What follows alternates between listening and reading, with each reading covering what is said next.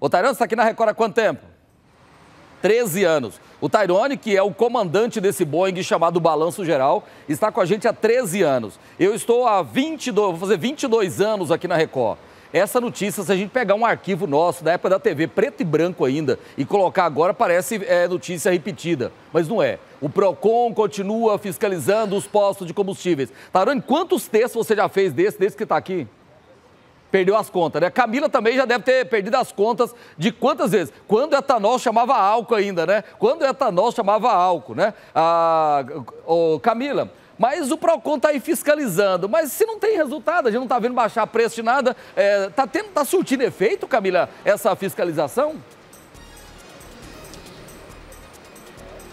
Pois é, Loares, dessa vez eu estou vendo aqui, ó, na prática, ao vivo, que está surtindo efeito sim. O PROCON começou a realizar essa fiscalização mais intensa na terça-feira, constatou que oito postos aqui de Goiânia estavam praticando esse preço abusivo. E aí, na quinta, deu 24 horas para esses postos voltarem aos preços praticados antes do, antes do dia 12. A gente lembra aí que do dia 12 para o dia 13, os goianienses amanheceram aí com uma mudança no preço do litro do etanol e também o preço do litro da gasolina. Aumentou aí 70, 80 centavos de um dia para o outro e sem justificativa. Aí o PROCON começou a andar pela cidade, é uma ação que está contínua ainda, né? E notificou até então oito postos. Eu estou aqui nesse posto aqui que fica com a Mutirão, no cruzamento da Mutirão com a T9, e eu posso afirmar, Oloares, que ontem eu passo por aqui, Ontem, a, o litro do etanol estava 3,69 e a gasolina estava 5,29. Hoje os preços já voltaram ao patamar, aos patamares de antes do dia 12, ou seja, com essa fiscalização do Procon, hoje foi o prazo final, o Procon inclusive está aqui agora verificando se de fato eles estão cumprindo com essa recomendação. O Levi Rafael, que é superintendente do Procon, vai justamente explicar essa ação para a gente. Levi, obrigada pela sua participação. O Olora estava falando justamente uma coisa que a gente concorda nisso, né? Que a gente sempre fala, o Procon está fiscalizando, mas muitas vezes não surte tanto efeito. Dessa vez a gente está vendo que surtiu um efeito, para as 24 horas foi dado para esse estabelecimento e aqui foi cumprido. E aí, Olores, ele tem aqui uma planilha que mostra exatamente o quanto eles estavam pagando na distribuidora e o quanto eles estavam revendendo. Então, quando a distribuidora estava vendendo mais barato, eles aumentaram o preço, ou seja, isso é constatação nítida de preço abusivo. Boa tarde para você. Dessa vez subiu o tom e não vai parar por aqui. Nós iniciamos essa operação dia 13, quando foi unânime que os postos subiram de forma simultânea e organizada o preço da gasolina e do etanol. Demos o prazo e essa, e essa prática com, continuou. Nesta semana, na última terça-feira, nós startamos então essa operação Pente Fino, viemos em loco, fizemos os cálculos e foram constatadas realmente as abusividades.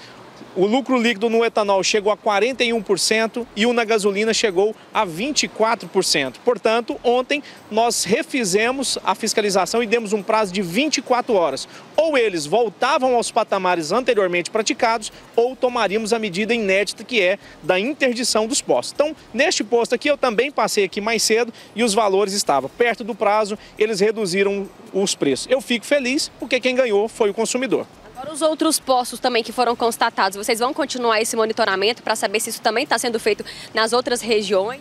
Sim, essa é uma ação conjunta. Apenas uma equipe nossa está aqui, as outras equipes já estão a campo também, percorrendo os demais postos. Somente agora na parte da manhã são quatro postos alvos que nós já estamos com as equipes lá. E ao longo da tarde essa operação continua e vamos fim de semana adentro também. A população, inclusive, pode denunciar isso, né, Loares? É importante a gente passar para a população que um preço correto, já que a gente teve a redução do ICMS, né, é justamente isso. O etanol, o litro está 2,89 aqui e a gasolina 4,49. Acima disso, já é aí uma marca superior ao que a gente chama realmente de, de lucro abusivo. Exatamente. O que a gente é, quer coibir é o aumento abusivo sem qualquer justificativa. Nós entendemos o mercado, entendemos tudo, mas a prática abusiva nós não toleramos. Eu queria que você mostrasse aqui pra gente, por exemplo, aqui nesse estabelecimento, você estava me mostrando aqui, ó, que eu acho que nessa, é, que mostra exatamente, Olores, quanto eles estavam pagando aqui, ó, no dia 12, que foi a, a a prática, né, na verdade, que foi a mudança aí mais intensa do, dos preços, ó, eles estavam pagando 4,34, é isso, né? Explica pra gente. Exatamente. Eles estavam pagando aqui 4,34 e vendendo a 4,49. Quando foi no dia 12, eles continuaram comprando a 4,34 e passaram a vender a 5,27. Portanto, abusiva e sem qualquer justificativa. Por isso que foram autuados e se eles voltarem a essa prática, podem ser sim interditados. Além de ser interditados, eles pagam alguma multa também? Quais são as outras consequências?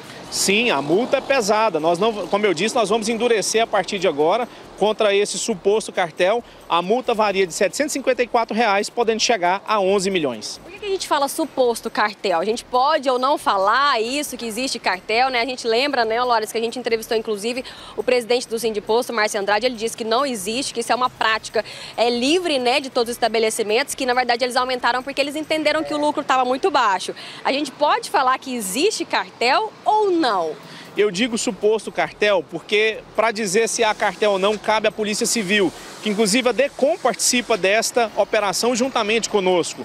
Então eles já estão investigando. Agora, me parece muito estranho que todos os postos subam no mesmo dia aos mesmos preços. Então por isso que a gente fala suposto cartel, o trabalho do PROCON e da Polícia Civil não vão parar por aqui e pode ter certeza que a gente vai continuar a fiscalização.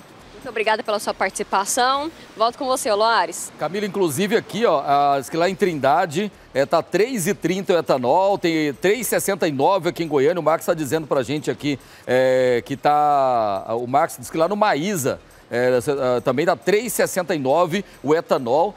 Aí a pergunta a pergunta que eu faço né, é, pra, para a sociedade é, é: a história do cartel é verdade ou não é? Porque se eles subiram sem ter motivação para subir, é porque queria passar a perna na gente. Obrigado, Camila. Então faça o que eu estou sugerindo, gente. Vamos boicotar ao invés de encher o tanque, coloca 10 reais. Tem um posto em cada esquina. Então, nem que você para 10 vezes ao dia, coloca 10 reais. Porque com o estoque sobrando, eu quero ver se o dono de posto vai, baixar, não vai bastar, né? Pois é. Então vamos lá, né? Vamos lá. Vamos é boicotar. Vamos usar o poder que a gente tem.